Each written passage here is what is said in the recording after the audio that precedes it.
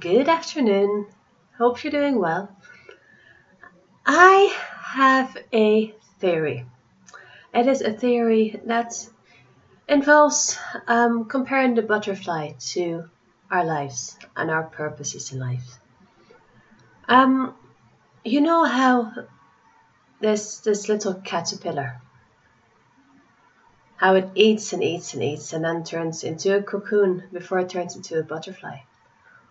Well, that's complete transformation, right? This one little creature can turn into a completely different creature and become absolutely magnificent and beautiful and fragile and special and able to fly and see the world and everything.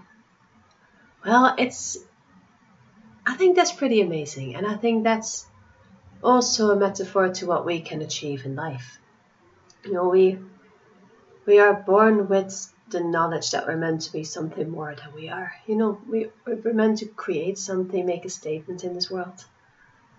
So we have to find a way to get from the caterpillar stage of just eating our way through life and, and, and just going in the cursed life and just just just going with the storm of the norm to finding within ourselves that that special way of being different, of standing out, of making a difference in the world, of following our passion and becoming who we're really meant to be, like the butterfly. Thing is, when you think of the butterfly's process, it doesn't change from being a caterpillar to being a butterfly overnight, does it? He, he finds a place, creates his cocoon, and just hangs there. And that's pretty amazing to me because at that point, he's no longer really a part of the world. He can't walk around in it, he can't move about, he can't protect himself. He's just hanging there, completely vulnerable. He's taken himself out of the daily world, but he's still part of it in a way. And in that very vulnerable and quiet state, all these things inside this cocoon are happening. And to the eye and, and, and maybe to the caterpillar itself, nothing's changing because the world around it is, is just not, not no part of what's going on with the butterfly or the caterpillar or whatever it is at that stage, you know. This cocoon is like a complete ball of silence and complete vulnerability as well. But everything is taking place in that moment. And can you imagine if the caterpillar wouldn't have that courage? And if it wouldn't have that patience and it would never become the butterfly. And I think that's what happens to us when we really want something. When we really want to achieve something, we want it to happen straight away. And sometimes it just doesn't. At least most times it doesn't. Most times it takes a long time. And a long time can be weeks, months, or years, but it takes patience. And it takes a profound feeling of being true and well stuck and vulnerable. And you know that that feeling of I made a start. I've done what I think I had to do and nothing's happening. Nothing's changing. And that's I think that's our cocoon stage. I think that's the stage where we really just have to realize that in order for change to happen certain things around us and certain things within us have to change ever so slightly. And it's these really slight changes that we don't really notice, so that's why we, we feel like we're stuck. And we feel like we're vulnerable and we feel like we've, we've, we've done it all for nothing because nothing's coming out of it. But that's the moment where I think most things actually are happening. I think that's the moment where we're tested the most.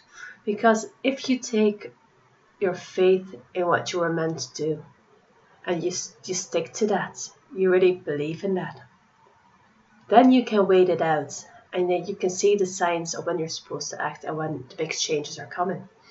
But if at that point you think, well, you know what, nothing's happening, so I'm giving up, that's when nothing is going to happen. And then you feel like you've tried for nothing. And th- those are, I think, the majority of people will give up at that point and just stop trying and stop believing. But it's that cocoon stage where, where you decide which way you're going. So you need to be more passionate than ever and more patient than ever when you're in that stage, when nothing seems to be happening. You need to have faith that it will happen. Like like the butterfly, you know. So yeah, this this cocoon stage of ours, we just we just have to get through it. Believe with all our hearts that we're going in the right direction. Read the signs that comes our way, follow our instincts and our intuition, and you know, just see that you'll meet the right people, but you have to recognize them. You see that it only has to be one person, you know, to make a, a small change turn into a big change. And sometimes you can even feel completely uninspired, but have the feeling that there's something out there that's bigger than you. And that's the universe conspiring to make it happen for you. So it's moments like that that you just really have to pace yourself and relax and just keep the faith, basically. So yeah, that's uh, I guess that's my little message for today.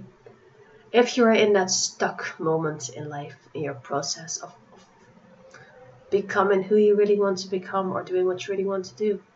If you're in that moment that you're stuck, just remember that butterfly.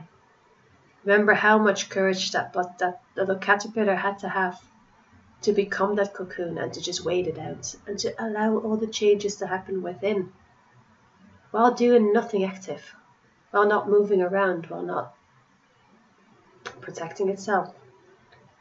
And how that caterpillar is taking all that time and that change really slowly and really stuck, literally stuck in the cocoon. And then bursting out as this awesome butterfly all of a sudden. Who can fly around and see the world and is just adored by pretty much everyone who looks at it. You know, just just imagine that that can be you. So get through the cocoon part and you'll come out the other end like the beautiful butterfly. Your moment of glory will come, but you have to have a little faith, a little patience, and you have to pay attention to the signs that are coming your way. Well, that's it for now, folks. See ya. Bye bye.